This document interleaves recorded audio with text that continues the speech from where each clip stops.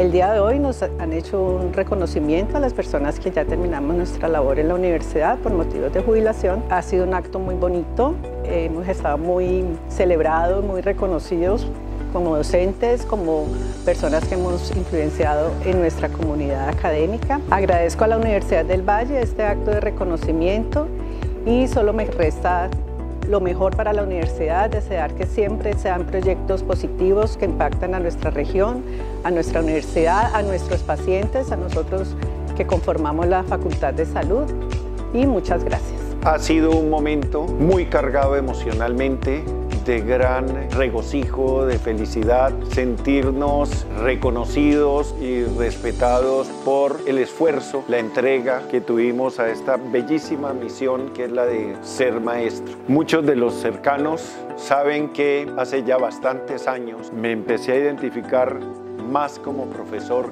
incluso que como la especialidad de psiquiatría, desearle a la facultad que mantenga los altos estándares de formación, de aporte a la comunidad, tanto en el entrenamiento de profesionales de salud, sino el aporte que se le hace a la salud de la comunidad vallecaucana a través del hospital universitario, del hospital psiquiátrico y todos los centros asistenciales a donde nos desplazamos.